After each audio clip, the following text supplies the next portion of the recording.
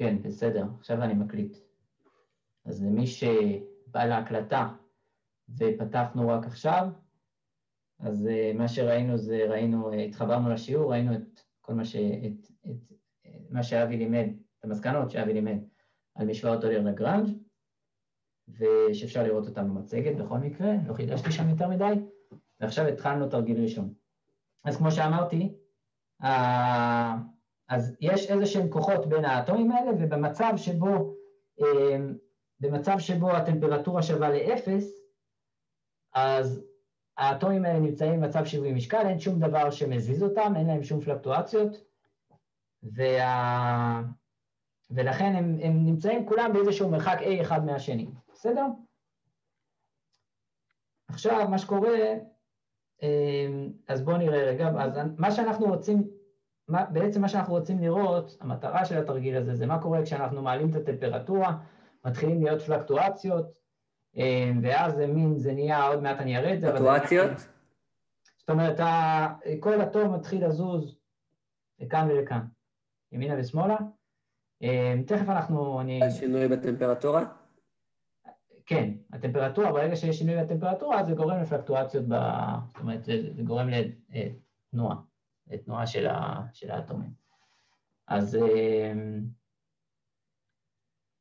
בטמפרטורה אפס הכל אה, אמ, אמ, במצב, אה, במצב שווי משקל, אין שום סיבה לתנועה, זאת אומרת, יש, יש את הכוחות שאמרנו, אבל האטומים ימצאו את עצמם באיזשהו אה, מצב שיווי משקל, ושם הם יישארו. אז מה שאנחנו מנסים, מה, ש, מה שאנחנו רוצים למצוא זה בעצם את ה... אם, אם אתם רואים פה את הוקטור הזה, אז אנחנו נרצה למצוא, נורא חם לי פה רגע, אני אתן רגע.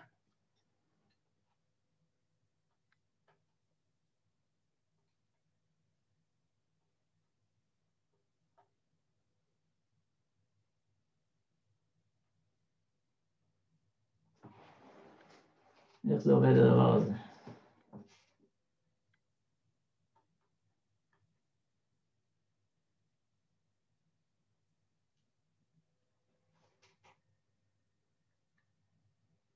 טוב, לא יודע, נשאר בחום הזה. אמ, כן, אז כמו שאמרתי, אנחנו רוצים לראות, בעצם מה שאנחנו רוצים לפתור בתרגיל הזה, זה מה קורה כשאנחנו, אמ, בעצם התנועה של האטומים, לדעת את, ה, את המיקום שלהם במרחב, הם יתחילו לזוז, ואנחנו נרצה לדעת את המיקום שלהם במרחב, כלומר את ה-R הזה, עבור כל אטום, מה, אמ, מהו, מהו, מהו ה-R הזה כפונקציה של הזמן, כן? R אה, כפונקציה של T, מה הצורה של התנודות האלה. אה,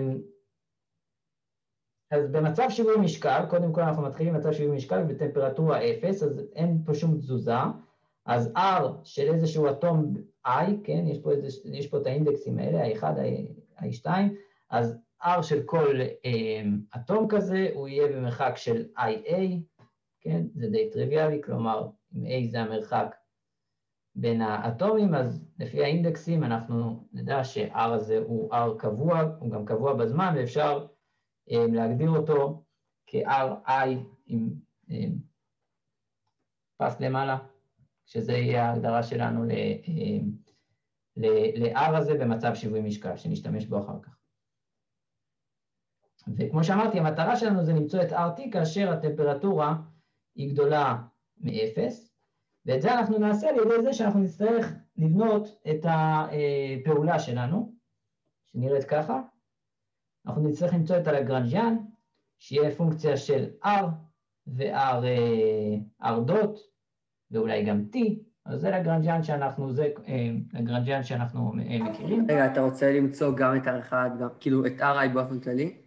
כן, אז זהו, בעיקרון זהו. אז מה שאתה שואל זה טוב, בעיקרון אה, יש לנו אה, המון R פה, כן, יש לנו R1, R2, R3, לכן R מסומן פה בוקטור, ובעצם יש לנו פה המון פונקציות.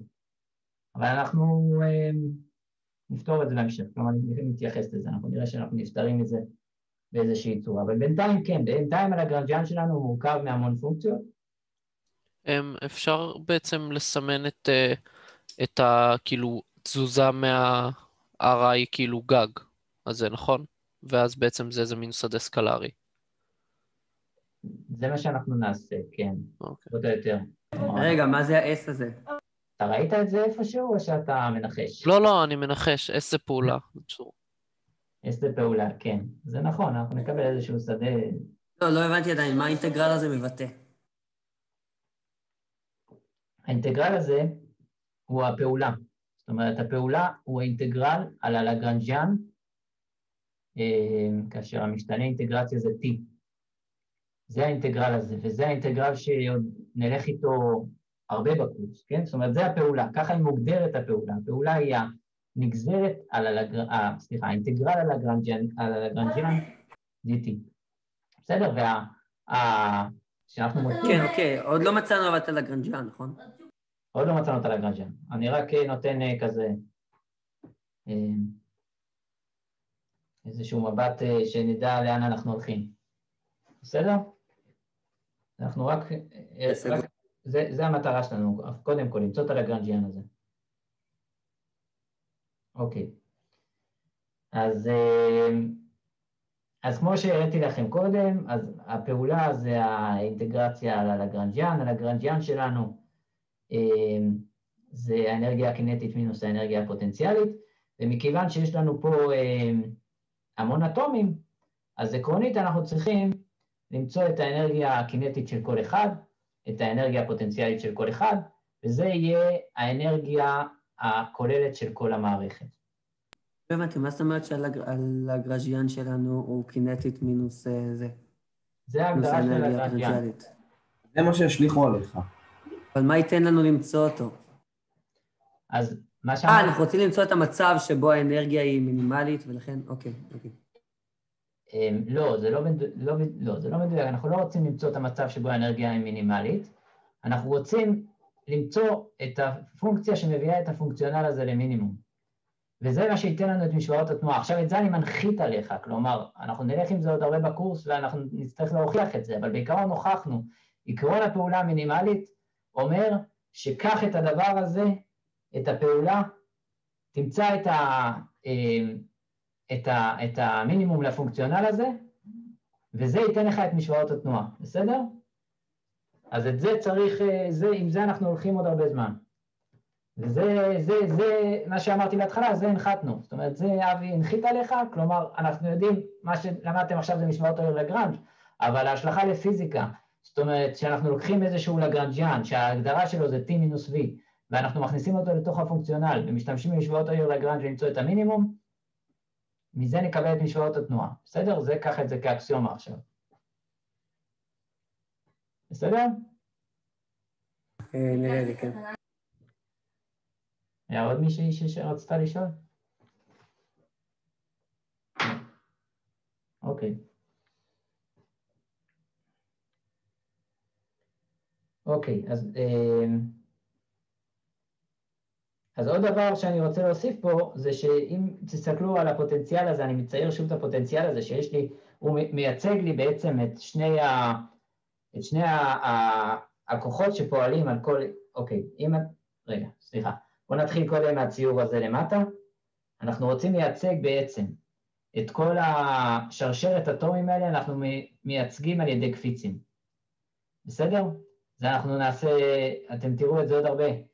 אנחנו מייצגים את הכוחות ביניהם, אין שם באמת קפיץ, אבל אנחנו, אה, נוח לנו לייצג את זה על ידי קפיצים, אנחנו יודעים לפתור קפיצים, וזה בעצם, אה, זה בדיוק, זה בעצם הפוטנציאל ההרמוני הזה הוא בדיוק מה שאמרתי לכם קודם, זאת אומרת, יש לי איזשהו כוח, אה, כשאני מגיע לאיזושהי נקודה מסוימת אז אני אלך אחורה, אני אגיע לנקודה אחרת, אני שוב אחזור, זה אוסילטור הרמוני שאתם מכירים.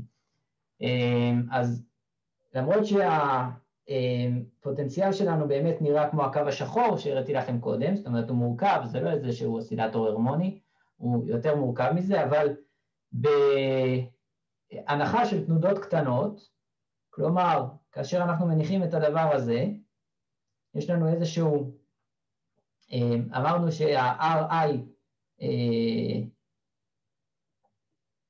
RI פס, כן, הוא הנקודת שיווי משקל, אז כשה, אם אנחנו נזוז ממנו קצת, אנחנו מניחים שזה קטן קטן מ-A, כלומר, אנחנו עושים תזוזות קטנות סביב הנקודת, אה, אם זה ה... כן, אם פה זה הנקודת שיווי משקל שלו, אז הוא מתחיל לזוז קצת, אבל לא הרבה, הוא לא מגיע קרוב ל... לאטום הבא. ולכן, בקירוב תנודות קטנות אנחנו יכולים להניח. שהפוטנציאל הוא הרמוני, כן? אז האדום פה, זה אני ציירתי איזשהו פוטנציאל הרמוני, וסביב תנודות קטנות אנחנו נמצאים איפשהו פה, למטה. אז הפוטנציאל הזה הוא בעצם, הפוטנציאל הזה הוא, הוא בעצם של כל אטום נפרד, כן? כל אטום נפרד יש לו איזשהו אה, קפיץ, שהוא אוסילטור הרמוני, וברגע שאני מזיז אותו קצת מנקודת שיווי המשקל, אז הוא הולך וחוזר, הולך וחוזר, הולך וחוזר, כמו שאתם מכירים. אז זה לגבי זה. אז קודם כל אנחנו מניחים פה אה, אינטראקציות בין, ה, בין האטומים, אה, שזה אה, אוסילטור הרמוני, בסדר? אז אנחנו מניחים קפיץ עם קבוע קפיץ מסוים ואנחנו ממשיכים עם זה.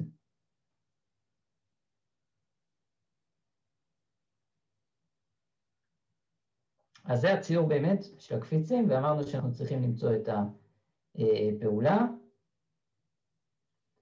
אז אנרגיה קינטית זה די פשוט, כן? יש לנו איזשהו RI, אז השינוי ב-RI הזה זה המהירות, אז MRI, M, ואנחנו גם מניחים כמובן שהמסה של כולם היא אותה מסה, ואז האנרגיה הקינטית של אטום מסוים, I, הוא יהיה MRI דוט בריבוע חלקי 2, בסדר. זה האנרגיה הקינטית. האנרגיה הפוטנציאלית שלי, אז גם, כמו שאמרתי, יש לנו קפיץ, אנרגיה פוטנציאלית של קפיץ אנחנו יודעים, אז יש לנו איזשהו K, שהוא לא מעניין אותנו כרגע הערך שלו, אנחנו מניחים שיש איזשהו K, הוא כמובן יצא מתוך הפוטנציאל הזה שהראיתי לכם קודם, והקירוב הזה לתנודות קטנות, אז אם אנחנו יודעים את הפוטנציאל ואנחנו מקרבים אותו לתנודות קטנות, אפשר להוציא את זה, אבל כרגע זה לא מעניין אותנו. הדלטה X זה התנודה מנקודת שיווי המשקל, כלומר מאיזשהו, בעצם מ-A, כן? כאשר הקפיצים הם בנקודת, זה קצת, יש פה איזשהו נקודה קצת עדינה, כן? אמרנו נקודת שיווי משקל בטמפרטורה 0, זה הנקודת שיווי משקל. עכשיו הקפיצים, הקפיץ עצמו, מתי הוא בשיווי משקל? כשיש בדיוק מרחק A. ברגע שאני סוטה מ-A, אז, אז, אז זה הסטייה שלי מנקודת שיווי משקל, לכן בעצם A מינוס הסטייה הזאת, שזה Ri פלוס 1 מינוס Ri. כן, זה בעצם ה, ה, הדבר הזה, Ri פלוס 1. כן, הדבר הזה הוא בעצם ה, ה, הרוחב של הקפיץ באיזושהי נקודה, כן? כלומר, אנחנו, פה... אנחנו לא מתחשבים מהפוטנציאל מ-i מינוס 1, כי גם i מינוס 1 משפיע עליו. לא, אנחנו מתחשבים. זאת אומרת, זה, זה לוקח את זה בחשבון, כן? כי אנחנו, אם אנחנו. Ri פלוס 1 מינוס Ri, אני אצייר את זה פה, אז למשל יש לי אה,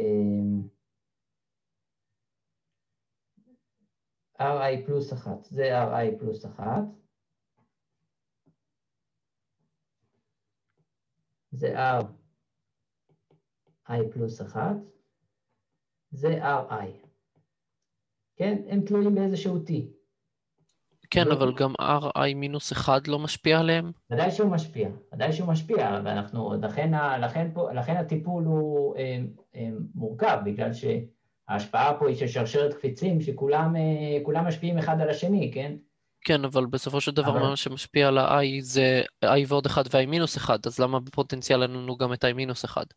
אולי מה ש... אוקיי, יכול להיות שיש פה עוד נקודה. זאת אומרת, אנחנו יכולים, אם אנחנו לוקחים אנרגיה קינטית ואנרגיה פוטנציאלית, אז באנרגיה הקינטית אמנם לקחנו את האנרגיה הקינטית של האטום, אבל באנרגיה הפוטנציאלית אנחנו מתייחסים לאנרגיה של הקפיץ.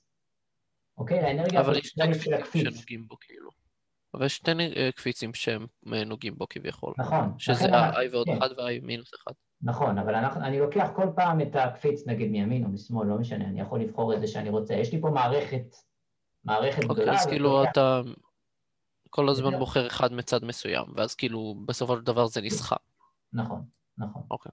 אז זה, זה אולי נקודה גם, זאת אומרת, את האנרגיה הקינטית, לקחתי את האנרגיה הקינטית של האטום, האנרגיה הפוטנציאלית היא האנרגיה הפוטנציאלית של הקפיץ. בסדר?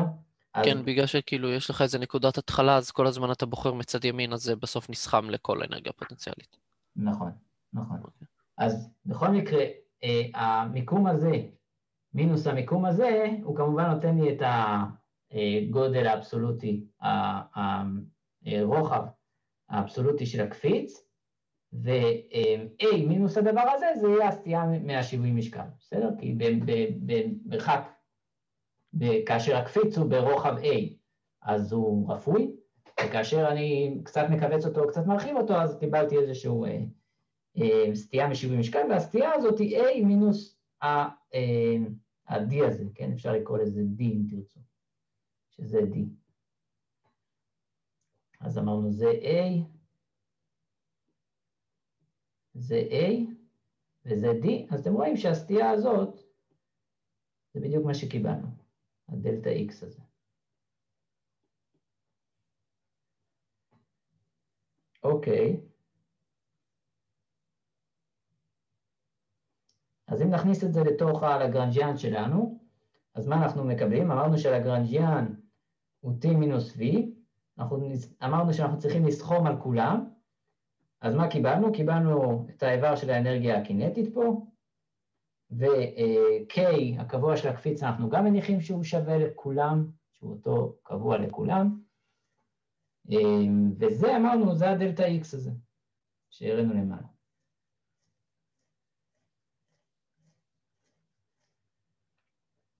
אוקיי, נמשיך. עכשיו אנחנו יכולים לשאול מה עם הקצוות, כן? כלומר, אנחנו מניחים פה איזשהו, אנחנו תמיד הולכים על משהו שיש לו אה, שכן מקדימה ושכן מאחורה, אבל מה קורה בקצה? אנחנו לא דיברנו על מישהו שהוא בקצה. אה, ובמקרה הזה, מכיוון שאנחנו מדברים על אה, שרשרת של אטומים במספר מאוד גדול, כן? האם אנחנו באים, ל... אנחנו באים לנתח איזושהי מערכת, איזשהו גביש, אז בדרך כלל מדובר במספר אבוגדרו של אטומים, שהוא מספר מאוד מאוד מאוד גדול, ולכן הקצוות הם לא משפיעים, אפשר להזניח אותם, ואז בשביל, לשם פשטות, אנחנו יכולים לבחור מה שאנחנו רוצים, ואנחנו נבחר אה, תנאי שפה מחזוריים. בסדר? אז אנחנו אומרים, בעצם השרשרת הזאת היא, היא, היא מין שרשרת עגולה כזאת, שבסוף מתחברת, אז ה-R האחרון, ה-RN פלוס 1, זה בעצם ה-R הראשון.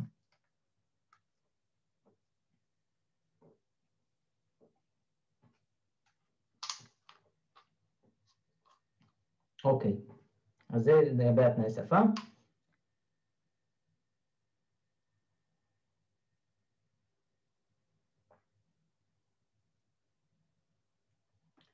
טוב, נמשיך מפה. אמ, עכשיו נחליף קצת משתנים כדי שה... אמ, שהמשוואה הזאת תראה לנו אה, יותר נחמד. אז אנחנו מגדירים פה משהו חדש. אמ, אנחנו מגדירים איזשהו משתנה phi ה-phi הזה הוא um, המיקום של הסטייה מהנקודה שבה האטום היה בטמפרטורה 0. כן, ולכן RIT הוא יהיה שווה למיקום בטמפרטורה 0 פלוס הדבר הזה. כן, אז אתם רואים את זה פה, בציור למעלה. בעצם האטום הזה זז מפה לפה, המיקום הזה פה, מה שאני מסמן פה, זה RI,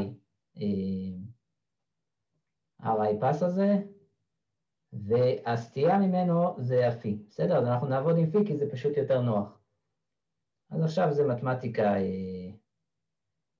די פשוטה לעבור, אז אנחנו נרצה לקחת את הדבר הזה ולבטא אותו בצורה של פי.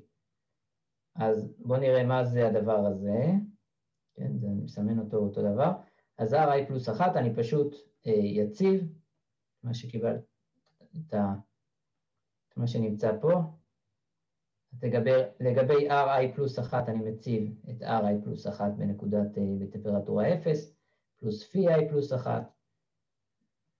לגבי R זה זה. אותו דבר אני עושה עם RIT, זה מינוס RI מינוס פי I, ו-A נשאר A. A נשאר A. אמ, בסדר? עכשיו אני יודע שהדבר, אני יודע ש-RI פלוס אחת, אם אתם זוכרים מההתחלה, אז זה I פלוס אחת A, אז זה יהיה זה, וזה, כן, זה,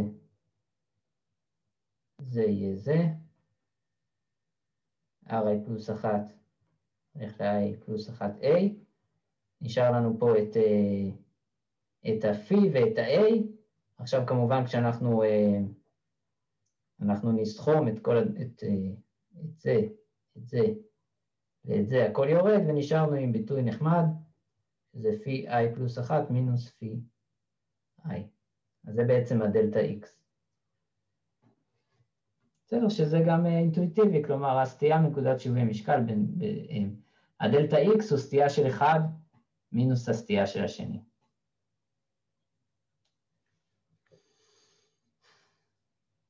אתם מבינים? זאת אומרת, אני התחלתי מאיזשהו מצב שכולם לא זזים, יש ביניהם איזשהו מרחק A. עכשיו אני שואל מה האורך של הקפיץ שהשתנה לי. מה האורך של הקפיץ שהשתנה לי? זה תלוי בשני דברים. תלוי באטום מצד ימין, תלוי באטום מצד שמאל. אז הוא זז והוא זז. בסוף אה, בעצם הסטייה מהאורך של הקפיץ ההתחלתי זה פונקציה של שני הסטיות שלהם. זה מה שאמרנו פה.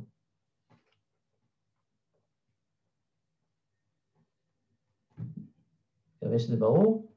נגיד אני מסתכל אה, על הקפיץ הזה, על, ה, על הקפיץ הזה, כן? אז הוא מתחיל נגיד מ-A, אבל אז נגיד שזה זז, וזה זז, אז המרחק הזה בסופו של דבר, שזה דלתא X, הוא תלוי בסטייה של הראשון, שזה פי, אה, לא יודע איך נקרא לו, אה, לא משנה, פי A, והסטייה הזאת זה פי B. בסדר? עד עכשיו. אז זה, זה הדלתא X שלנו, וזה מה שאמרנו פה. זה בעצם מה שאמרנו במה שמוקף אה, מלבן אדום. אז זה הדלתא X, ואז הביטוי הוא נחמד יותר. הביטוי שלנו נראה עכשיו ככה. זה הלגרנג'יאן, וזה נראה עכשיו יותר נחמד.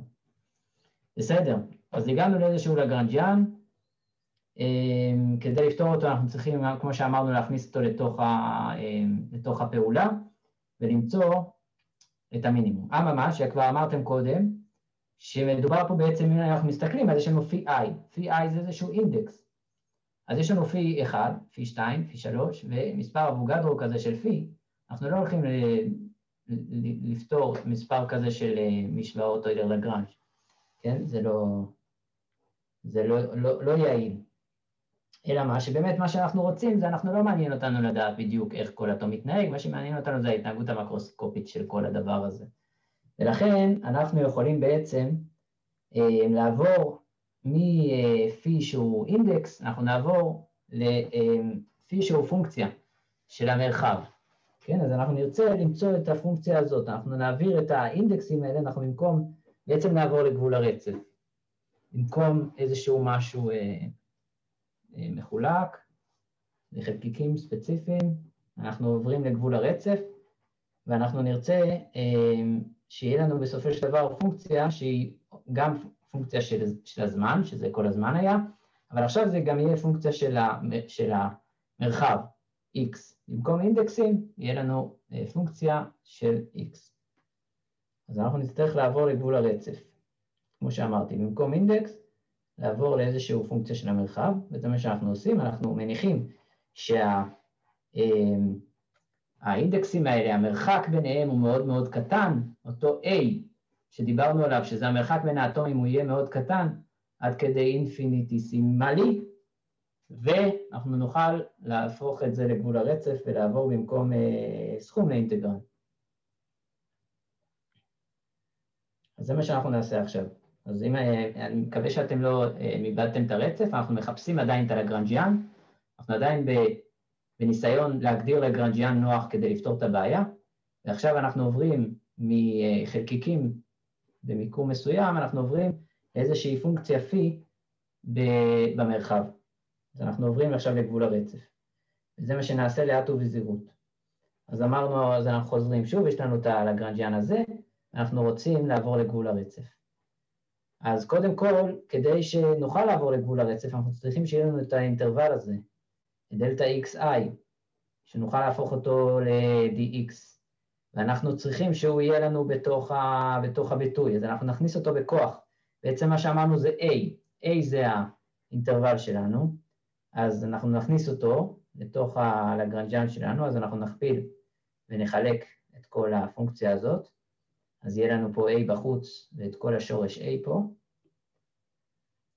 עכשיו, השלב הבא, זה שאנחנו נעבור מסכום, אנחנו נעבור מהסכום על a לאינטגרל dx, זה לגבי זה. ואנחנו גם, אה, במקום פי אה, אנחנו נסמן פי x, ובדרך אנחנו גם נכניס את שורש a, כי זה לא באמת משנה, זה עוד פקטור, תגדיר את הפונקציה שלך איך שאתה רוצה. זה לא באמת, זה לא, אז אנחנו פשוט עוברים לגבול הרצף, את הפקטור הזה אנחנו מכלילים בתוך הפונקציה, ואז יש לנו פונקציה של x בגבול הרצף, אז בואו עכשיו, אנחנו פשוט נציב את זה בתוך. בתוך, ה... בתוך הלגרנג'אן שלנו, אז יש לנו שוב את הלגרנג'אן הזה, שעובר לפה בגבול הרצף. רצף. אז כמו שאמרנו, הדבר הזה הוא. אה, האינטגרל, הוא נהפך להיות אינטגרל, כל ה-phi אה, נהפכים להיות פשוט phi שזה פונקציה של x, וההפרש הזה, ההפרש הזה הוא אה, נהיה ההפרש הזה, שזה בעצם פי של x פלוס a, זה פי i פלוס 1, מינוס פי של x, שזה פי i. עכשיו, אה, אנחנו נרצה שהדבר הזה, נחלק אותו ב-a, ונוציא a החוצה, אז קיבלנו פה את ה-a בריבוע וחילקנו ב-a, תכף נראה למה עשינו את הדבר הזה, כי זה בעצם ההגדרה של הנגזרת. הדבר הזה זה ההגדרה של הנגזרת, כמו שאתם רואים פה. ואז במקום הפרש אנחנו נוכל לכתוב נגזרת.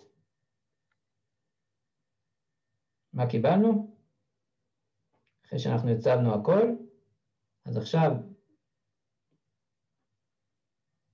את הנגזרת הזאת אנחנו מציבים במקום ההפרש. אז היא הולכת לפה. וקיבלנו את הביטוי הנחמד הזה.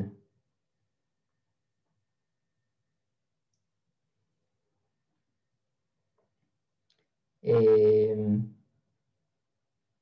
רגע, אתה מגיע אחרי שואף לאפס? בסדר? ישי. כן? למה אתה מניח a שואף לאפס? למה אני מניח a שואף לאפס? זו הייתה השאלה? כן, זו הייתה השאלה. כי uh, בשביל לעבור לגבול הרצף אני צריך להניח ש-a שואף לאפס, כלומר הוא אינטרוול. אני רוצה להציב אותו במקום שיהיה איזשהו uh, מרחק, שיהיה מרחק פיסימלי כדי להפוך את הסכום לאינטגרל. כן, אתה צודק, אתה צודק, הבנתי, תודה. אוקיי, אוקיי. אמ, אז מה שאנחנו רואים פה בעצם זה את המושג צפיפות, האינדג... צפיפות הלגרנג'אן, אז את זה אנחנו מבינים. אז מה זה אומר לנו? זה אומר שיש לנו פה, הלגרנג'אן הוא בעצם איזשהו, אמ, איזשהו אינטגרל. לפני שהגענו לפעולה, עוד לא עשינו שום דבר, אנחנו עוד לא מפעילים את האינטגרל על הפעולה, אבל הלגרנג'אן עצמו הוא אינטגרל. הלגרנג'אן עצמו הוא אינטגרל של dx על הדבר הזה שנקרא צפיפות הלגרנג'יאן. בסדר? וזה ברור למה קוראים לו צפיפות הלגרנג'יאן, כי הוא מבטא איזושהי פונקציה של x, תעשה עליו אינטגרציה ותקבל, את, תעשה עליו אינטגרציה ב-x ותקבל את הלגרנג'יאן, לכן הוא הצפיפות. צפיפות הלגרנג'יאן. אז זה מושג חשוב, אתם רואים אותו פה אולי פעם ראשונה, אתם תראו אותו עוד, אה, אני משער שגם אבי ידבר עליו, אבל זה... בעצם אנחנו עומדים לעשות אינטגרל פעמיים. כן, אוקיי. בואו פעם אחת כדי למצוא את הלגרנג'יאן ועוד פעם בשביל הפעולה. אה, משהו כזה, אבל אנחנו לא, אנחנו נוכל לדלג על שלבים, כי אנחנו לא צריכים באמת, אה, אנחנו לא צריכים למצוא את הלגרנג'יאן, אנחנו פשוט נכניס הכל בתוך הפעולה, ואז נשתמש עם מה שאנחנו יודעים, כי בעצם יש לנו פה שני ממדי אינטגרציה, גם x וגם t. אז בואו בוא נמשיך ונראה, בסדר? אחלה. שי, כן. אתה יכול לחזור שנייה אה, ש- אה, שקופית אחורה, כאילו שתי שקופיות אחורה, שאני אצלם? אה, חסר לי משהו. אה, לא, אחד קדימה. אה, הנה, זהו. שאתה הגדרת את הפי החדש. אתה רוצה עם הסימונים או בלי הסימונים? הסימונים שיש לך במצגת. הנה, ב- לא, לא, שקופית אחת לפני כן.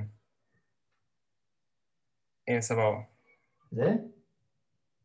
כן, מה שיש למטה? אה, אוקיי. סבבה, אוקיי, תודה.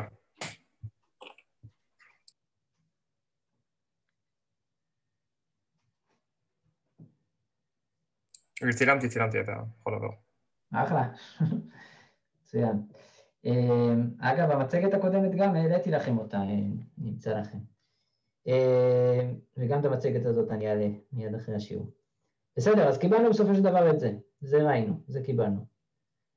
ומה ש... הנה, אז עכשיו מה אנחנו צריכים לעשות עם זה? אז אנחנו מכניסים את הלגרנג'יאן שקיבלנו לתוך הפעולה. אמרנו שיש לנו פעולה, פעולה זה נג- אה, אינטגרל על הלגרנג'יאן בזמן, ואז בעצם מה קיבלנו? אם אנחנו מכניסים את הלגרנג'יאן שגם הוא אה, אינטגרל, אז קיבלנו את הדבר הזה, שזה בעצם אינטגרל כפול, גם על dx וגם על dt. אה, אוקיי, אז עכשיו אה, פונקציונל כזה, למדנו בתחילת השיעור איך אנחנו עובדים איתו, נכון? זה בעצם פונקציונל עם שני ממדי אינטגרציה. יש לנו פה אה, את הלגרנג'יאן, שתלוי, בואו נראה רגע. כן, יש לנו פה לגרנג'יאן, צפיפות לגרנג'יאן יותר נכון, הוא תלוי בכל הדבר הזה, שזה מה אומר? זה מה שראינו בתחילת השיעור, יש לנו פונקציה אחת פי, אחת, יש לנו דרגת חופש אחת, פונקציה אחת פי, ויש לנו שני ממדי אינטגרציה, x, x ו-t, זה שני ממדי אינטגרציה, ולכן בהתאם גם יש לנו שני נגזרות שונות, אנחנו גוזרים את, את פי לפי x, וגוזרים את פי לפי הזמן. אז זה בדיוק מה שראינו בתחילת השיעור, זאת ההגדרה, יש לנו איזשהו פונקציונל שיש לו מספר ממדי אינטגרציה, פה המספר ממדי אינטגרציה שלנו הוא 2, x ו-t, ובהתאם יש לנו גם את הנגזרות השונות, דו f לדו אה, x ודו f לדו t. אז איך אנחנו... אה, רגע, מה ההבדל בין פי דוט לפי טאג? פי דוט זה נגזרת לפי הזמן, ופי טאג זה נגזרת לפי המרחב, לפי x. נכון?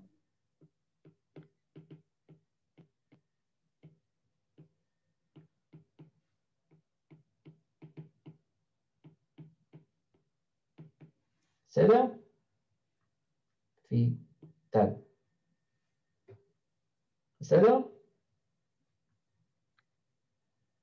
לא שומע אותך, עוז. אתה על מיוט. לא, לא דיברתי אליך.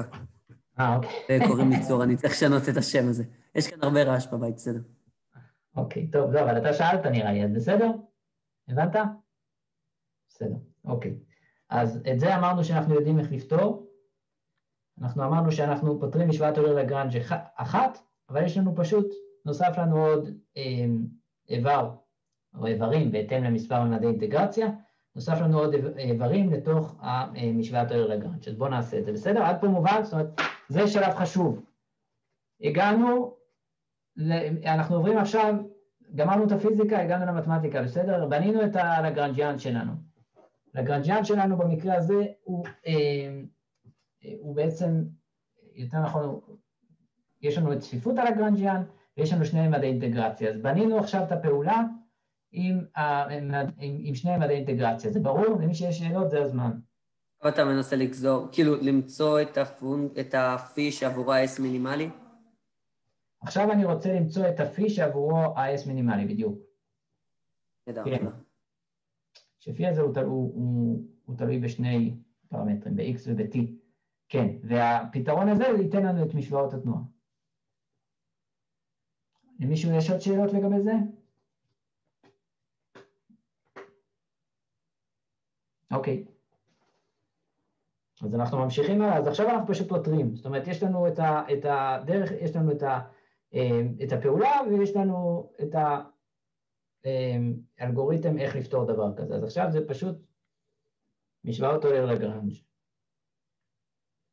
אוקיי, אז אנחנו חוזרים, שוב מסמנים את הדבר הזה, כאשר זה אה, ה-L שלנו, ה-L המסוגנן הזה, וזה בעצם, ה, אה, זה בעצם המשוואה. אה, טוב, צריך להיות פה צפיפות לגרנג'יאן, כן, הסימון פה הוא לא כל כך, הוא קצת מבלבל, אז זה צפ- צפיפות לגרנג'יאן, זה אותו אחד שפה, כן? המשתנה הזה, ה-L המסוגנן הזה, זה אותו L מסוגנן שפה, בסדר? זה, זה הצפיפות לגרנג'יאן, וזה המשוואה שאנחנו צריכים, זה המשוואה שאנחנו צריכים לפתור. אה, אז נפתור אותה, אז קודם כל, האמת היא שאם תסתכלו על הצפיפות לגרנג'יאן, במה, באמת, במה באמת זה תלוי? כלומר, זה יכול להיות תלוי בכל הדברים האלה, אבל במה באמת זה תלוי? זה לא תלוי מפורשות ב-T, זה לא תלוי מפורשות ב-X, וגם זה לא תלוי מפורשות ב-פי. הדבר היחיד שיש לנו פה בתוך הצפיפות לגרנג'יאן הזאת זה את פי dot ואת פי תג. כן, אז כמו שראינו שיעור שעבר, איזשהו... אה, אה, אה, אינטגרנט שמופיע לנו, אז נכון שהוא יכול להיות תלוי ב-y, y, תג ו-x, אבל לא תמיד תלוי בשלושתם.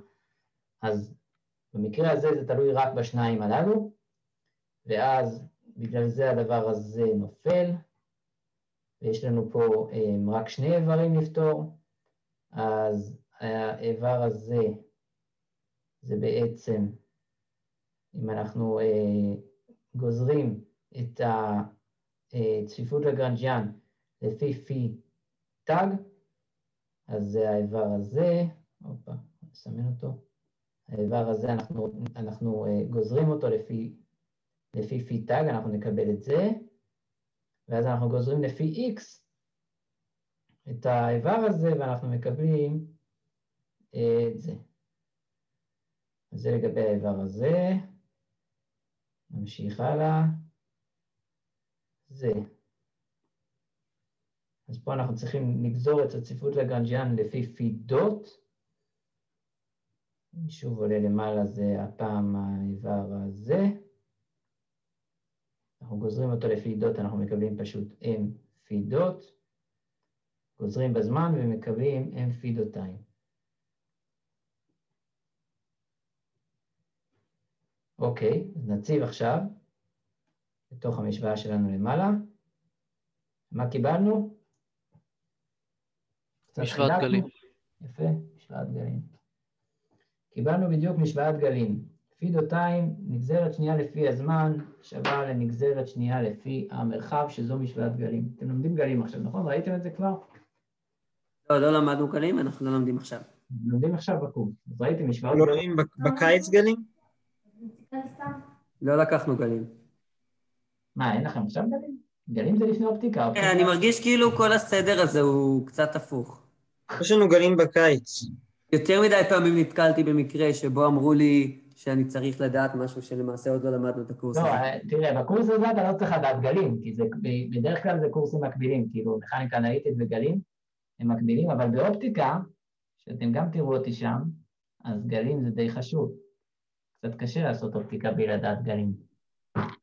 אה, אז כנראה אופטיקה וגלים כן נעשה ביחד או משהו. יכול להיות, יכול להיות שיש לכם, ב- יכול להיות, אולי נשים לכם איזשהו סדר אחר. לא משנה, כך או כך, זה לא משהו שאתם צריכים, אה, אה, אני יכול לגלות לכם שהדבר הזה הוא מתאר, הוא, הפתרון של המשוואה הדיפרנציאלית הזאת היא מתארת גל שמתקדם במרחב, במהירות של הדבר הזה, זה, זה המהירות 1 חלקי, לא, סליחה, המהירות, אה, זה המהירות בריבוע, אז שורש של הדבר הזה זה המהירות.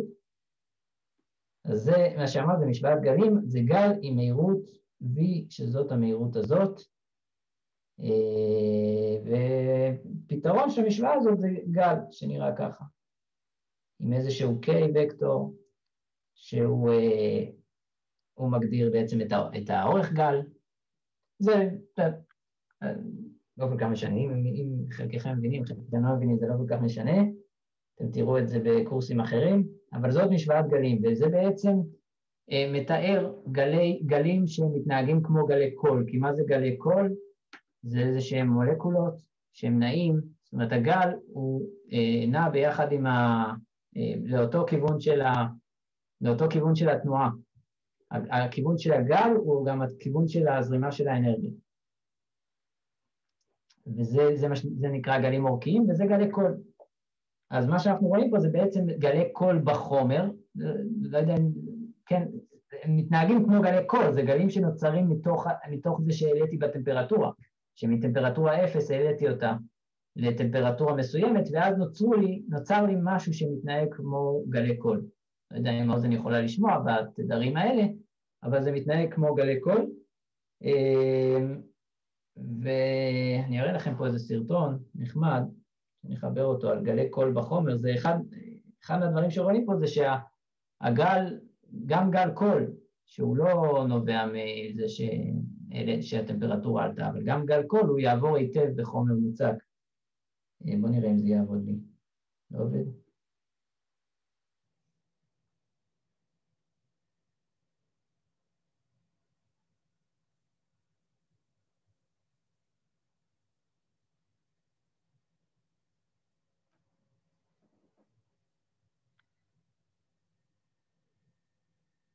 נעשה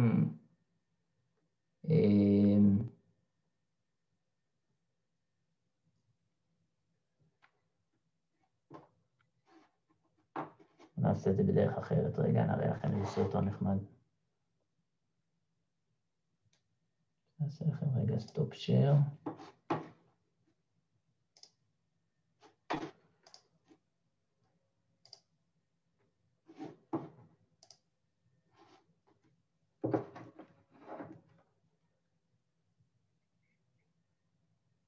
בואו ננסה להיכנס לזה שנייה אחת.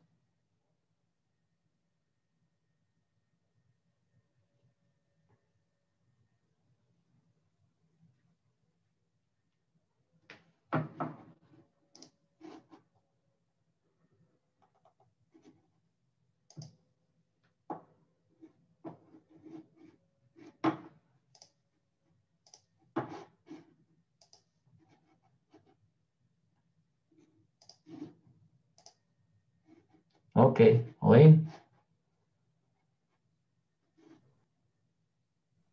רואים.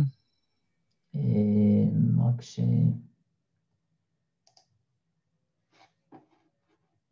לכם גם שיר לסאונד, ואז שומעים טוב גם. זהו, אוקיי. To change the speed of sound, you have to change the properties of the medium that that sound wave is traveling through. And there's two main factors about a medium that will determine the speed of the sound wave through that medium. One is the stiffness of the medium, or how rigid it is. The stiffer the medium, the faster the sound waves will travel through it. This is because in a stiff material, each molecule is more interconnected to the other molecules around it. So any disturbance gets transmitted faster down the line. The other factor that determines the speed of a sound wave is the density of the medium. The more dense the medium, the slower the sound wave will travel through it. This makes sense because if a material is more massive, it has more inertia, and therefore it's more sluggish to changes in movement or oscillations. These two factors are taken into account with this formula. V is the speed of sound. Capital B is called the bulk modulus of the material. The bulk modulus is the official way physicists measure how stiff a material is. The bulk modulus has units of pascals because it's measuring how much pressure is required to compress the material by a certain amount. Stiff, rigid materials like metal would have a large bulk modulus, and more compressible materials like marshmallows would have a smaller bulk modulus. Rho is the density of the material. Since density is the mass per volume, the density gives you an idea of how massive a certain portion of the material would be. So, for example, let's consider a metal like iron. Iron is definitely more rigid and stiff than air, so it has a much larger bulk modulus than air. This would tend to make sound waves travel faster through iron than it does through air. But iron also has a much higher density than air, which would tend to make sound waves travel slower through it. So, which is it? Does sound travel faster through iron or slower? Well, it turns out that the higher stiffness of iron more than compensates for the increased density, and the speed of sound through iron is about 14 times faster than through air. This means that if you were to place one ear on a railroad track and someone far away struck the same railroad track with a hammer, you should hear the noise 14 times faster in the ear placed on the track compared to the ear just listening through the air. In fact, the larger bulk modulus of more rigid materials usually compensates for any larger densities. Because of this fact, the speed of sound is almost always faster through solids than it is through liquids, and faster through liquids than it is through gases, because solids are more rigid than liquids, and liquids are more rigid than gases. Density is important in some aspects too, though. For instance, if you heat up the air that a sound wave is traveling through, the density of the air decreases. This explains why sound travels faster through hotter air compared to colder air. The speed of sound at 20 degrees Celsius is about 343 meters per second, but the speed of sound at 0 degrees Celsius is only about 331 meters per second. So remember, the only way to change the speed of sound is to change the properties of the medium it's traveling in, and the speed of sound is typically faster through solids than it is through liquids, and faster through liquids than it is through gases. טוב. הסטיפנס זה בעצם KS, כן, בדיוק. זה מה ש- והמסה זה... דרך אגב, כתבנו באמת מסה, אבל המסה אמורה להיות צפיפות, כי זה מסה למשהו מאוד אינפי- למשהו אינפיניסימלי. לא, אבל A, לא, אני אראה לכם, אני אראה לכם את זה שנייה. יש שם גם A בריבוע. רגע אחד.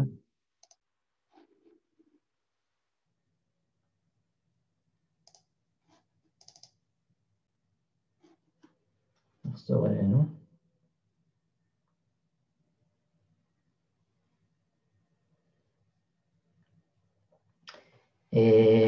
אה, נכון, A בריבוע אה, חלקי מסה זה בעצם 1 חלקי הצפיפות. כן, בדיוק, כן, כן, כן. אבל בואו, בואו, רגע, אני לא יודע אם כולם פה באותו, באותה פאזה. אמ, בואו נחזור רגע למה שראינו.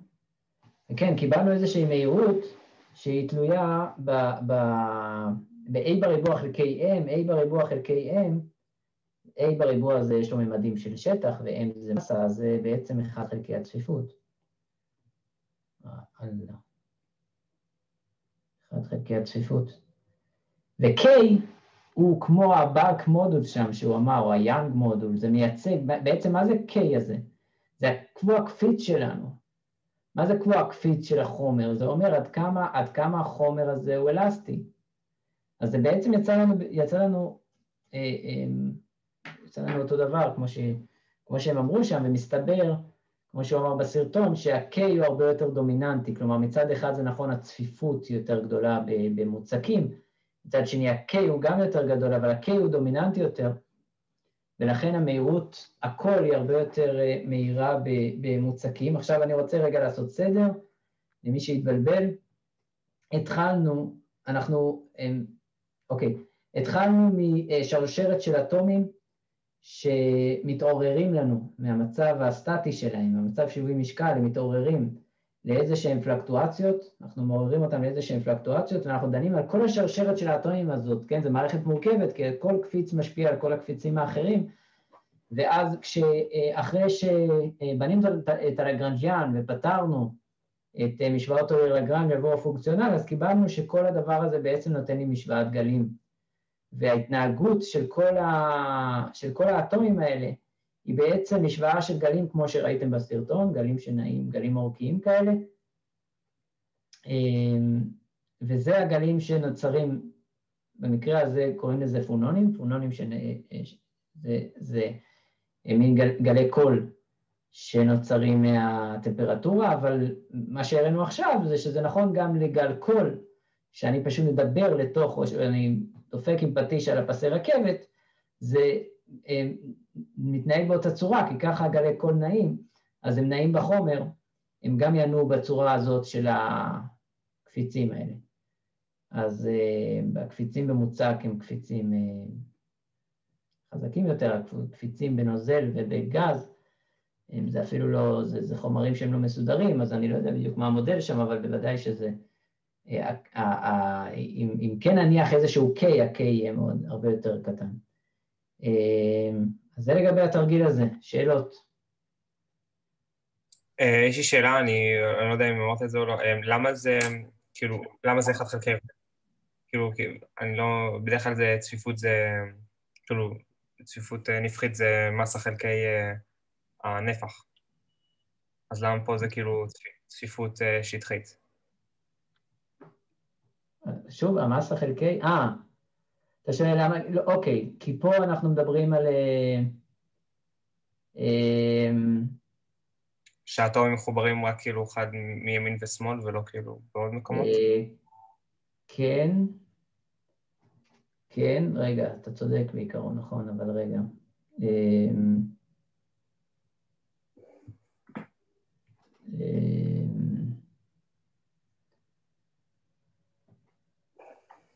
כן, זה נכון, זה נכון, אתה צודק. לא, אתה צודק, אני התבלבלתי פה, זה לא בדיוק אחד חלקי צפיפות. בעיקרון, אם כבר אנחנו צריכים לעשות, אה, אם כבר זה יהיה ממדים של, אה, של A, לא של A בריבוע. אם כבר תהיה צפיפות קווית כזאת, כי אנחנו מדברים על הכל במימד אחד. זה נכון. אבל לא, זה... היחידות מידע זה כן נכון, כאילו, הנוסחה הזו, כאילו, כמובן שזה נכון. אבל אה, זה כאילו יוצא לנו אה, צפיפות שטחית. השאלה אם זה בגלל שעשינו את הבעיה הזאת. לא, אבל, אבל, אבל, כן, אבל לא צריך לצאת לך צפיפות שטחית, צריך לצאת לך צפיפות קווית, כי אנחנו, אנחנו עבדנו במימד אחד. אם היינו, אם היינו עובדים בדו-מימד, היינו שרשרת של אטומים כאלה בדו-מימד, אז היינו מדברים על צפיפות אה, שטחית, ואם היינו מדברים על תלת-מימד, היינו מדברים על צפיפות נפחית. אתה צודק שזה לא יוצא אותו דבר. וזה כנראה, אבל זה לא, זה לא מאוד משנה. אתה צודק, אבל זו נקודה טובה, תודה שהערת. אה, זה, בגלל ה-KS, כי איך קראו לזה, ה-B שם? שכחתי מה השם של זה? בלק מודולס, או אני מכיר את זה בתור היאנג מודולס. זה אמור להיות יחידות של... אה, של אה, לחץ, שזה כאילו כוח חלקי אה, שטח. Um, הסיבה שיצא לנו A בריבוע ולא A זה בגלל שפי, אנחנו הגדרנו אותו כמה שפי הקודם חלקי שורש A. אם אנחנו נעבור ליחידות שזה עושה קומפלמנט לזה, אז ה-A בריבוע יהפוך להיות A. אוקיי, תודה. תודה, נכון. הגדרנו את פי ככה, נכון. זאת אומרת, אנחנו חילקנו אותו באיזשהו שורש A. הפקטור הזה צריך להיות, צריך לקחת אותו בחשבון. בסדר, כך או כך, אמ, זה דיון מעניין, אבל אנחנו, בכל מקרה אנחנו יכולים לראות שזה הולך כמו, זאת אומרת, ה-A בריבוע הזה חלקי M הוא מייצג איזושהי צפיפות מסוימת, כמובן שבגז זה יהיה גבוה יותר, אה, סליחה, במוצק זה יהיה, אולי זה לא לגמרי כמו הגדרות הצפיפות, אבל במוצק זה יהיה, A הזה הוא יהיה קטן יותר, ובנוזל ה-A הזה יהיה גדול יותר, אמ, ו-K הוא הפוך, כן, ו-K מייצג, כן, הוא קשור ל... ל הוא קשור ל... אה, לגמישות של החומר, אז אולי זה לא אחד לאחד, אבל זה נותן את אותה... אם רוצים באמת להתאים את היחידות, אז צריך לעשות את זה יותר בזהירות, אבל זה לא מאוד משנה. זאת אומרת, זה נותן את אותה... את, את אותה אה, תוצאה מבחינת... אה, איך אני אגיד לכם את זה? מבחינת נפנופי ידיים. בסדר? אז זה לא, זה לא כל כך משנה לענייננו, אה, רק בשביל התחושה. בסדר, עוד שאלות?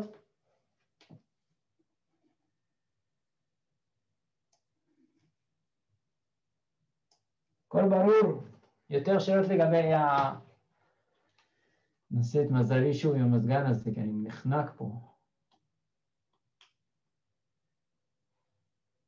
אף אחד לא יודע לעזור לי עם המזגן.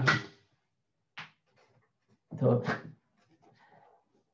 אה, חברים, הכל ברור? בסדר? נמשיך הלאה? טוב, בסדר. אם מישהו לא ברור והוא מעדיף אה, לשאול אחר כך, אפשר גם לקבוע איתי אחר כך. בסדר, אז בואו נמשיך. טוב, אז אנחנו עוברים לתרגיל הבא, חלקית טעון בשדה אלקטרומגנטי. גם פה אני משער שחלק מהדברים אולי לא כל כך יהיו מוכרים לכם, אבל זה, אני, אני שוב מדגיש, זה לא כל כך משנה. כלומר, אם אתם מרגישים שיש כל מיני מושגים שהם חדשים לכם, אני אולי אנסה אה, כן להגדיר אותם, אבל זה לא הנושא של השיעור, הנושא של השיעור זה משורות על לגראנג'. אה, אם יש בדרך מושגים שהם לא מוכרים לכם, אז תשימו את זה בסוגריים, זה לא צריך לעכב אתכם. אה, אני כן רציתי להביא בתרגול הזה תרגילים שהם פיזיקליים, שהם ייתנו לכם את, ה, את, ה, את ההבנה ואת התחושה למה אוילר, מה, מה, מה החשיבות של אוילר לגרנג'. ואנחנו רואים, בדוגמה הקודמת אנחנו ראינו שיש לנו מערכת מורכבת, שיהיה לנו קשה כנראה לפתור אותה עם אה, משוואות ניוטון, ואוילר לגרנג' הוא כלי חזק בשביל לפתור את, ה, את, ה, את המערכות האלה. בסדר. Q פה זה וקטור מיקום? כן, אנחנו נגדיר את זה לאט לאט. זהו, אז זה הגרנט של חלקיק טעון בשדה אלקטרומגנטי. אה, אני קצת מנחיק, מנחית לכם את זה. אה, Q זה וקטור מיקום, אנחנו תכף גם אה, נגדיר אותו, כן? Q הוא בעצם X, Y ו-Z. זה Q. הדבר הזה זה הפוטנציאל סקלרי, וזה פוטנציאל וקטורי. אמ, כשמו כן הוא זה וקטור, כן? כל מה שמודגש פה זה וקטור. וגם הפוטנציאל... כאילו זה פוטנציאל חשמלי ומגנטי? משהו כזה, כן. פחות או יותר. לא, לא הייתי מגדיר ככה, אבל הוא קשור לזה שיש פה מגנטיות. כלומר, אם היה פה רק שדה חשמלי, אז לא היה לנו פוטנציאל אה, וקטורי. אה, ראיתם את הפוטנציאל הסקלרי והפוטנציאל הוקטורי, או שזו פעם ראשונה ש... כן, בחשמל מגנטיות. ראינו אותם בחשמל, כן. אה, אוקיי, אוקיי, סבבה. אז אני, אז, אז זה טוב, כי אני יכול לעבור על זה מהר, אז כי אני חשבתי שאתם לא ראיתם. אה, אז כאשר, כאשר קול של, של איזושהי פונקציה הוא שווה לאפס, אנחנו יכולים להגדיר איזושהי אה, פונקציה אה, v, שהגרדיאנט שלה נותן לנו את, ה, את הכוח, ו... הופה, ברח לי.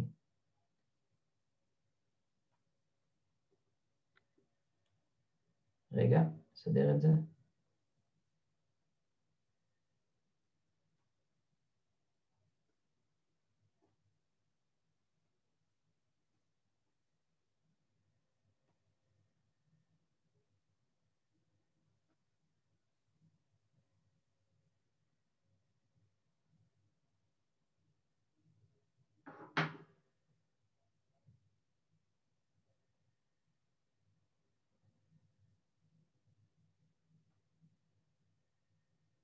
לא רוצה להסתדר.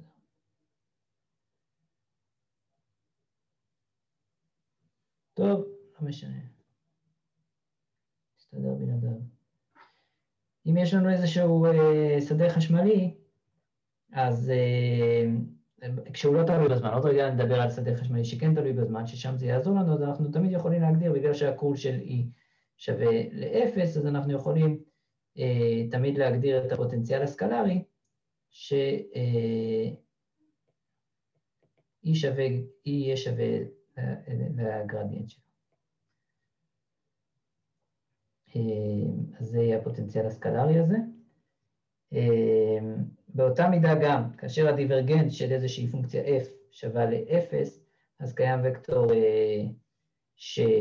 קיים וקטור a, שכשאנחנו עושים עליו קול אנחנו יכולים לקבל את f, ולכן אה, עבור שדה מגנטי יש לנו היעדר דיפול מגנטי, אז הדבר הזה, המשוואה הזאת היא אה, אחת ממשוואות מקסוול, ולכן אנחנו יכולים להגדיר תמיד עבור השדה המגנטי את הפוטנציאל הוקטורי, שזה הקול של, אה, זה הפוטנציאל המגנטי שהפעולה שנעשה עליו קול נקבל את השדה המגנטי, בסדר? אז זה סתם אני מבין שזה רענון עבורכם.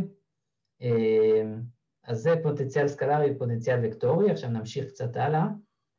אמ, מה קורה כשהשדה כן תלוי בזמן? אז כשהשדה תלוי בזמן אנחנו, אה, אנחנו נשתמש פה במשוואת פרדאי, ואז אה, אמרנו ש-B הוא שווה לקול של, אה, לקול של A, אז במקום B אנחנו מציבים פה קול של A. אה, זה שני נגזרות שהן לא תלויות, אחת במרחב ואחת בזמן, אז אנחנו יכולים אה, להעביר אותם, כן, להוציא את, ה, את, ה, את הקול החוצה ולהכניס את הנגזרת פנימה, ואז אנחנו נקבל את E מפה ואת דו ל-dt של A מפה, מהשילוב ביניהם, והקורס של שניהם הוא שווה לאפס. עכשיו, אם יש לנו איזשהו, אמרנו, יש לנו איזשהו קורס של משהו שהוא שווה לאפס, אז אנחנו יכולים להגדיר את הפוטנציאל הסקלרי, כן? אז אנחנו שוב, אז אנחנו אומרים, כל הדבר הזה, מה שנמצא בתוך הסוגריים האלה, אה, שווים איזשהו גרדיאנט על, אה, על אה, איזשהו פוטנציאל סקלרי, ואז אנחנו מקבלים את שתי המשוואות האלה שאנחנו נשתמש בהן בהמשך. כן, אז מצד אחד, אז העברנו פה, בשביל לקבל את הנוסחה הראשונה, העברנו פה אגפים, פשוט העברנו את זה לפה, והנוסחה הזאת זה כבר ראינו קודם. זו הנוסחה השנייה ואנחנו נשתמש בזה בהמשך. אז איזשהו רענון קצר. טוב, אז אנחנו ממשיכים הלגרנג'יאן שלנו. יש לנו איזשהו לגרנג'יאן, שזה זה הלגרנג'יאן של חלקיק טעון בשדה אלקטרומגנטי, אוקיי? יש לי איזשהו שדה אלקטרומגנטי, ויש לי חלקיק שעובר בתוך השדה הזה, חלקיק טעון. אז כמו שאתם רואים, אני לא אסביר, זאת אומרת, אוקיי, נתחיל בזה. קודם כל זה ברור שזה T, בסדר? זה האנרגיה הקינטית. וזו האנרגיה הפוטנציאלית, בסדר?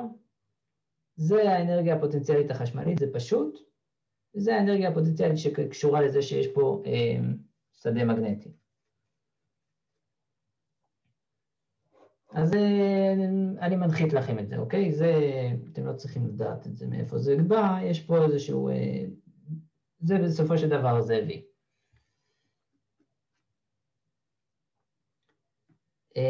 כדי קצת לפשט מה, מה יש לנו פה, כי האיבר הזה הוא מורכב מהרבה וקטורים והרבה, וחלק וקטורים ופוטנציאל סקלרי ווקטורי, אז כתבתי אותו בצורה מפורשת. אז ה-Q הזה, אז זה ה-Q, זה Q דוט, וקטור, ופה יש לנו את כל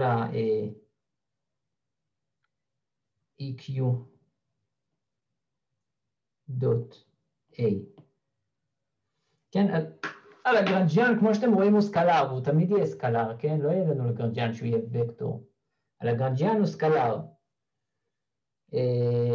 אבל יש לנו פה מכפלה של וקטורים. אז, אז זה, זה, כל הדבר הזה זה הלגרנג'יאן. בואו נעבור הלאה. אז אמרנו זה זה, כתבתי אותו שוב פה. מה יש לנו פה? זאת אומרת, יש לנו פה לגרנג'יאן, נראה קצת מפחיד. מה, איך, איך, אנחנו, איך אנחנו ניגשים אליו ומה אנחנו רוצים לפתור בבעיה הזאת? אז אמרנו, יש לנו חלקיק טעון בשדה אלקטרומגנטי. מה זה אומר? זה איזשהו חלקיק שנע במרחב. יש לנו פה קואורדינטות x, y ו-z. הוא נע במרחב תלת-ממדי, x, y ו-z. יש לי פה פוטנציאל. פוטנציאל הוא נובע, הוא, הוא, הוא מבוטא על ידי פוטנציאל חשמלי ופוטנציאל וקטורי, זה מה שנותן בעצם את, ה, את הכוחות שנמצאים פה בתוך המערכת, בסדר? זה בעצם מבטא את הכוחות שיש לנו בתוך המערכת, ואנחנו רוצים למצוא את משוואות התנועה. כלומר, איך החלקיק הטעון הזה נע בתוך המרחב שיש בו את הכוחות האלה, שמבוטאים על ידי הפוטנציאלים האלה. בסדר? אז מה בעצם אני רוצה למצוא פה? אני רוצה למצוא את x, את y ואת z כפונקציה של t. אני רוצה לדעת את המיקום של החלקיק הזה בכל רגע, בכל זמן t. אני צריך לדעת את שלושת הקורדינטות בכל זמן t, כדי לדעת איך החלקיק הזה נע במרחב. אז מה זה בעצם, מה יש לנו פה? יש לנו, יש לנו לגרנג'יאן עם שלוש דרגות חופש, כמו שאמרנו בהתחלה, יש לנו לגרנג'יאן, המשתנה אינטגרציה שלנו הוא רק dt, יש לנו איזושהי פעולה.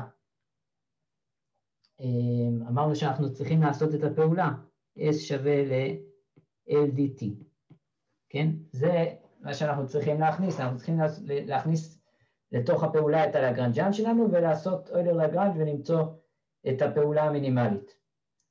אבל L שלנו בעצם הוא מורכב מ-X, Y, Z, X תג, Y תג, Z תג ו-T. זה הלגרנג'יאן. אז זה, דיברנו על זה בדיוק בהתחלת השיעור, זאת אומרת זה לגרנג'יאן שיש בו מספר דרגות חופש, אבל משתנה אינטגרציה אחד. בסדר? זה, זה, זה הדבר שחשוב לי שתבינו, אחרי זה זה כבר מתמטיקה, אבל אני רוצה שכן תבינו איך, איך מתייחסים לזה, מה רוצים לפתור, מה מכניסים לתוך אוילר לגרנג'. אז כמו שאמרתי, אנחנו ראינו את זה בתחילת השיעור, זה בעצם מה שראינו. ראינו שיש לנו משתנה אינטגרציה אחד, x. אותו דבר אצלנו, מה משתנה אינטגרציה אצלנו? מי רוצה לומר? בשיעור. לא, משתנה אינטגרציה אצלנו זה לא x. אנחנו אמרנו שאנחנו מחפשים... אמרתי t, t. כן, בדיוק. s שווה אינטגרל על l dt. אז בדיוק, אז t זה המשתנה אינטגרציה, אבל יש לנו הרבה פונקציות. F1, f2 עד fm, אצלנו זה XYZ.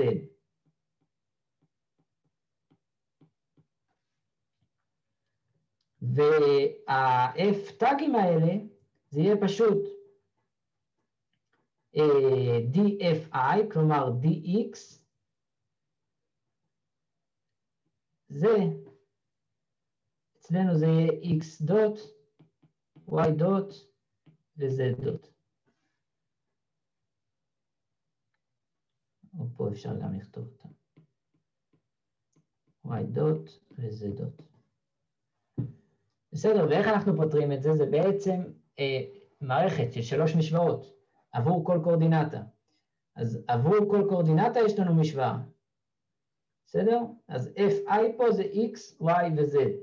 עבור, עבור כל קורדינטה אנחנו נצטרך לפתור את ה... אז זה קצת, אולי קצת מבלבל, אבל אתם צריכים להתרגל לזה, כי פה במקום x אצלנו הדבר הזה זה t, בסדר? וזה, אמרנו זה יהיה x או y או z. בסדר?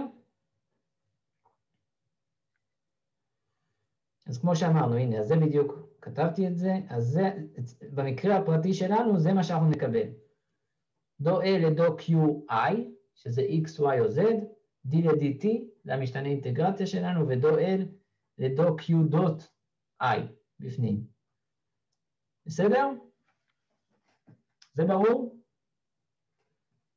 עכשיו זה כבר מתמטיקה, אני רואה שאנחנו בסוף השיעור, ואני האמת די תיארתי לעצמי שאני אהיה בשלב הזה בסוף השיעור, אז אני, אני לא הולך לפתור את זה עד הסוף, כי זה קצת ארוך ומורכב. במקום זה, בכל מקרה, אה, זה יהיה לכם לשיעורי בית התרגיל הזה, וזה, וזה תרג, זה, זה תרגיל טוב אני חושב, כי הוא כי כן צריך, צריך פה, צריך פה לשים לב לכל הוקטורים ואיך לגזור כל דבר. אני קצת אתחיל את זה, אבל אתם תעשו את זה ממש בתוך, בתרגיל שלכם. אז כמו שאמרתי, זה מה שאנחנו צריכים לפתור. כן, אז אנחנו, אז האיבר הראשון, קודם כל אני פותר את זה, דו A לדו QI. אז אני לוקח את המשוואה פה, את המשוואה הזאת, ואני גוזר את דו A לדו QI. אז קיבלתי מפה את זה. ומפה את זה. עכשיו צריך לשים לב, זה וקטורים, זאת אומרת, יש לך, יש, יש, לנו, יש לנו פה, בצהוב הזה יש בעצם שלוש איברים, Q1 כפול A1, Q2, Q1 דוט כפול A1, ו-A הזה, AX הוא יכול להיות תלוי גם ב-Y ו-Z, AY יכול להיות תלוי גם ב-X ו-Z, כן? זה לא, הם לא, לא בהכרח ש-AX הוא תלוי רק ב-X. אז לכן צריך לקחת הכל בחשבון. אמ, אני מדלג על הכל. בסופו של דבר, מה שאנחנו מקבלים מכל הדבר הזה זה את אה, משוואות תנועה, שזה אה, כוח לורנץ. כוח אה, קולון וכוח לורנץ. MQ, MQ זה כמובן הכוח, ובסופו של דבר אנחנו נקבל מהדבר הזה את, את כוח לורנץ. אבל באמת אני רוצה, אני רוצה לדעת שהבנתם פה את העניין הזה ואיך אנחנו ניגשים ללגרנג'יאן הזה ואיך אנחנו עושים את זה. השאר זה מתמטיקה, זו מתמטיקה חשובה. למשל במבחן אה, שנה שעברה, אז היו חבר'ה שהסתבכו עם הוקטורים וזה, שזה היה באמת רק מתמטיקה, אבל עדיין הסתבכו עם זה, אז כן צריך לדעת לעשות את זה טוב. אני לא חושב שאם אני אראה לכם את זה, זה יועיל, כי, כי הכי טוב זה לעשות את הדברים האלה שיש הרבה פרטים, כל ה... כל ה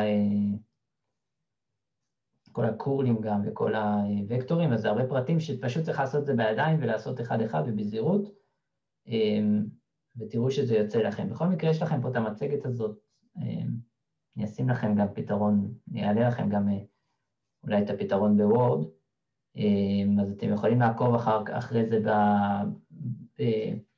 בוורד, אבל כן הייתי ממליץ כמה שפחות, אה, כמה, כמה שיותר לעשות את זה לבד, בסדר? אז יש לכם, בתרגיל שלכם יהיה לכם גם את זה וגם אה, תרגיל נוסף, שבו אתם תצטרכו למצוא דווקא את phi ואת a, כלומר המשתנים שאותם תחפשו במקום x, y ו-z, זה יהיה phi ו-a.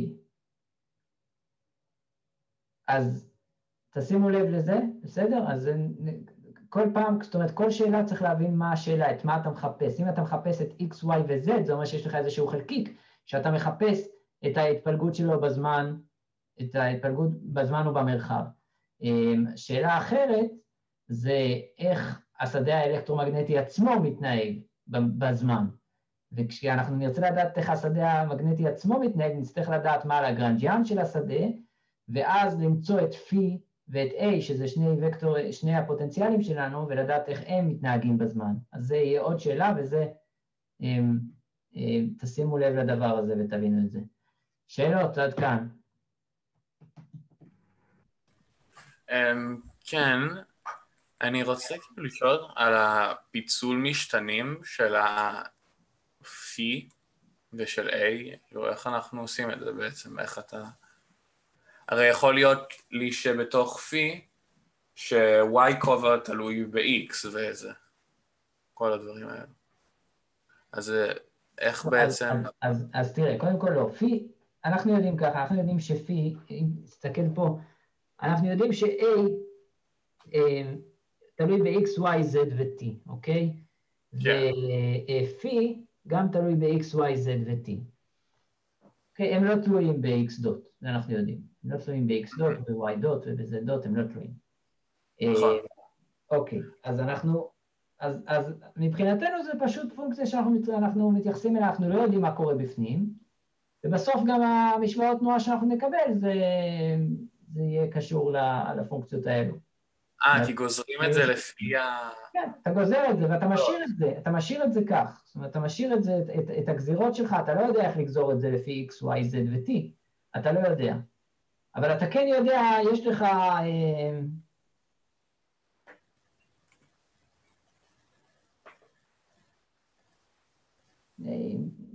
אתן לך איזה בריף כזה, כן? אנחנו מקבלים איזה משהו כזה, כן? אז יש לנו כל מיני נגזרות שאנחנו לא יודעים איך הן, איך הן נראות בפנים, אנחנו משאירים אותן ככה. אז יש לנו איזה דו פי לדו QI, אנחנו לא יודעים איך זה נראה, כי אנחנו לא יודעים את הפונקציות האלה. לצורך העניין, לא מעניין אותנו מה הם. אבל אנחנו יכולים לשחק עם זה מתוך ההגדרות שמצאנו. ואז נקבל את משוואות התנועה, כי אנחנו יכולים, יש לנו את ההגדרה הזאת שהראיתי לכם כשדיברתי על הפוטנציאל הוקטורי והסקלרי, גם זה נובע משם.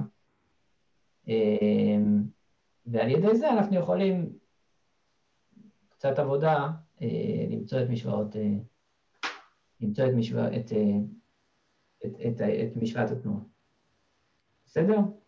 אז בסדר, אני אתן לכם, אה, אה, אתן לכם בתרגיל אולי גם הדרכה, אבל זה לא, אני, במיוחד אם יש לכם את הפתרון, זה לא אמור להיות קשה מדי. יכולים, אם אתם באמת מסתבכים, אתם יכולים להסתכל, אבל אני שוב ממליץ כמו תמיד.